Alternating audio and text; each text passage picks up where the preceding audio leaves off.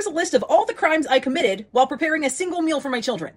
These are crimes that I didn't know were crimes until I committed them. First up, banana butt. I only give them half a banana at mealtimes, but they always get into an argument of who gets to peel the banana. So I thought I'll just use my big brain and cut the banana in half. Wrong. Now they're mad because somebody has to get the banana butt. Nobody wants the banana butt. I didn't know bananas had butts. Next on the list of charges, felony ketchup placement. I, like a heathen, put the ketchup for their chicken fries directly on the plate. Wrong. So in the interest of just getting dinner in their bellies and avoiding the fine, I got out the ramekins. This was also wrong. Well, then where did they want the ketchup? Excellent question. Thank you so much for asking. Directly in their hand. I immediately declined that idea, and that was crime number three not wanting everything I own painted with a fine coat of ketchup with veggies. And the final crime of this mealtime, I had the audacity to clean my children's meal trays off and empty the little crevices of the disgusting crumb hoard. Oh, the horror. Anyway, kids are fun and not the least bit confusing.